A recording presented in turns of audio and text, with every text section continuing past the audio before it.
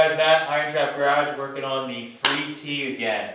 Uh, so in the last video you saw we messed with uh, changing the sweep of the frame here, uh, which gave us uh, some additional travel uh, in the frame where the uh, rear axle sits. So now that that's done, we had to throw some wishbones on in the rear just to get it so that the, the rear wasn't um, twisting on us when we set the weight down on it.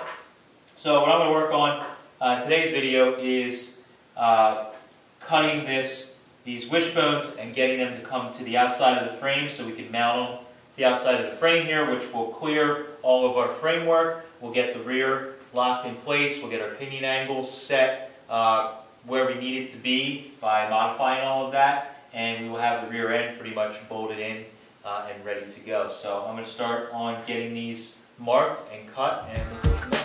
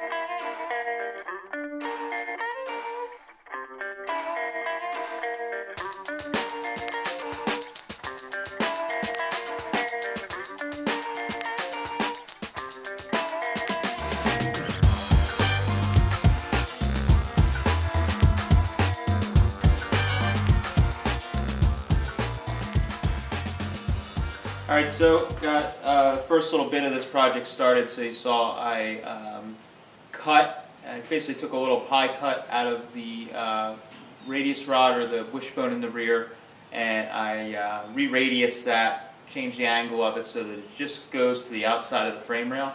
Uh, then what I did was I picked uh, similar holes, or actually the same holes on either side of the frame that were at a good spot where I'd like to connect those uh, wishbones and by picking a pre-existing hole in the frame it makes it really easy for me to get everything set up so that the wishbones are the same length and uh, everything's kind of symmetrical. So what I wanted to do is I didn't want to just weld so I'm using those uh, the ball and socket set up like I did on the front where I scavenged the parts from uh, Model A um, steering arms and uh, the links from the tie rods and or, or drag links and uh, I'm doing the same in the rear, but I didn't want to just weld the ball section right to the frame. Uh, I think it's a little thin. It's like eighth inch or just under. I forget what the, uh, the thickness on the, this frame rail is, but it's like eighth inch or thinner on this frame. And I don't feel comfortable just dropping the ball in and uh, welding it to the frame. It may be okay, but uh, because it is you know kind of locating the rear, um, I, I want to go uh, a little further with it. So what I did is I got a quarter inch plate um, that I cut out, sanded the corners and everything, uh, drilled a uh, like a little over a half inch hole here, and I sanded the um, the shaft of, of this, the, the ball on this, and I tapped that in there, made it a nice tight fit, got it sitting pretty, pretty good here, and now what I can do is weld it from the back side, and I can weld it from the front side around the perimeter here. And then I'm going to drill, I'm going to open up the hole in the frame uh, so that you can fit the ball through. Put that through there, weld this plate to the back side of the frame inside the channel uh, of the frame, and then we can also weld from the front side. I can weld again to this shaft here around the hole uh, and to the actual uh, outer part of the frame. So that should really, by welding around this perimeter in the frame, it's going to spread the load, and also we'll be welding in a bunch of other places. I think it should be pretty good. So I'm going to get the uh, this ball welded on for the first one here. Uh, then we can get in the frame, get it tacked to the frame, and uh, I'm going to finish weld all this stuff when the frame's blown apart and the body's off, uh, so it's a little easier for me to finish weld everything. But I'm going to get this in, get a couple real good tacks on this thing so that we'll hold it enough to roll it around, and we can jump over to the other side and uh, finish up the other one. So uh, I'll get this all set up and get it welded.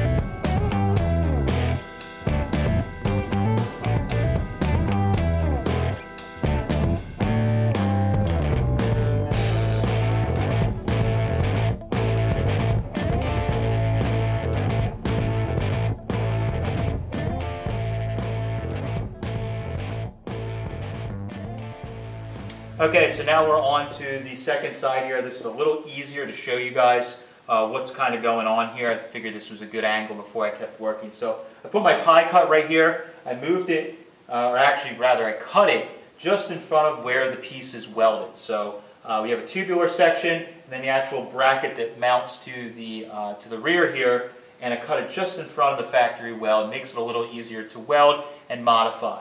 So I put the pie cut there. It's a full-length wishbone, so it goes all the way to three quarters of the way to the front of the vehicle because uh, this was off of a later car. And what we need to do is pull this out. So because I already have the pie cut in it, I can basically bend this down, try not to crush my hand, and we can start pulling it out like this, and that get us up in a way. So now you can see uh, I'll get a shot. My pie cut is closed up here, so the way I cut it as we bring it together, it closes up the pie cut, and I've already beveled the edges so that we, when we weld, we have good penetration, and we can blend the weld out as, as if it never happened. Um, so now I got this kind of full length, what I need to do is go to this hole that we've already done on the other side, same hole, cut this down. So what I like to do is cut it even with the hole uh, that we're using. And then what we're going to do is as we put that link in, we're going to actually shorten it back. But I can hold the link right up to the wishbone and I can actually make a really nice mark that's exactly where I need it to be so that I'm not uh, fishing around or having to shim it or whatever. So I'm going to cut this level with the hole that we, we want to mount the socket on um, and then we'll trim it back as we get a little further. But this is kind of gives you an idea of, of how simple the process is. You're just putting a little pie cut pulling it out till it gets outside the frame rail, cutting it off level, putting the link in, and you know making everything fit, welding it up, boom, done. Well, not, not that easy, but close to it. So, all right, let me get back to it.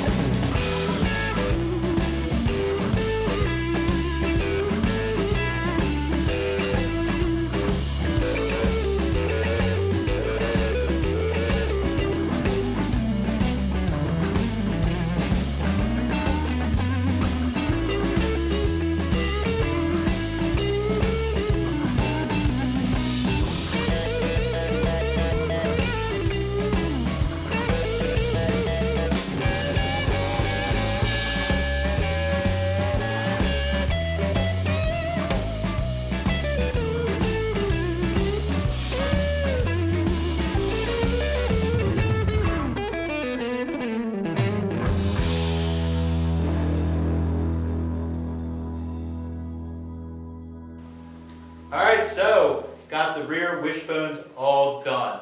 Uh, that was a pretty big job and made me wish that I had a lift set up. Uh, laying underneath of the car, welding um, the plates in, and just basically all of the welding, a lot of the fabricating and fitting was done kind of laying on the ground, just a dirty, not fun job, but it's, it's just what you have to do. Uh, something I really like to do when I'm building stuff like this is I like to tack everything together uh, when it's all bolted on the car, clamp down exactly how it's going to mount when it's done. I don't like to guess and do it on the bench because a lot of times things will move with the heat and you go to fit it after you're done welding it and it doesn't fit at all and then you're kind of hacking stuff or enlarging holes uh, and pieces to make it you know fit uh, because of the movement when you weld. So got everything together. We jumped up and down with the um, with the suspension all together now. Before the pinion was kind of twisting as we were putting weight on, on the car. Now I can jump up and down on the back. With the extra leaves that we added, uh, the car is sitting pretty much just right, but it's really, really stiff in the back of this car because there's nothing to it. So I think we need to maybe take a leaf or two out and maybe replace it with a little, a little spacer block and we can kind of tune how it's going to ride. Uh, because this thing is so light and it came, the suspension is Model A, which is a substantially heavier vehicle, uh, we're going to have to kind of tune the ride height and also the ride quality by doing that. We have more than the main leaf in there, but uh, I think we have like four leaves or so in there, uh, maybe five, and maybe by taking one out or so, it'll make it ride a little better. Uh, but we'll, we'll play with that as we start adding weight. Overall, the car is a lot closer now. Everything is together as far as rolling and steering goes. And we're basically just going to continue with doing a little bit of sheet metal work, doing a little bit of bracing in the cowls and things like that. I'm going to finish the other header uh, that we did in, in a previous video, and then the engine's ready to go off to the engine builder, get that done, um, and then we can just start kicking butt on the, on the frame and finish welding, get everything together, and get it ready to do some body work. Yes, we are going to paint the car. It's going to be black. Uh, we're going to hopefully make it look like an old lacquer paint job so it'll still retain the old um, feel to the car, which should be pretty cool. So that's all I got for this one. I appreciate you guys watching. As always, uh, Tuesdays we do videos on the Free-T, which I'm really working pretty hard on right now. Fridays we do videos that could be the Sweetheart Roadster, tools that don't suck, and swap meets, whatever we got going on, and some other projects we got in the shop. So thanks guys, I appreciate you watching. Catch you later.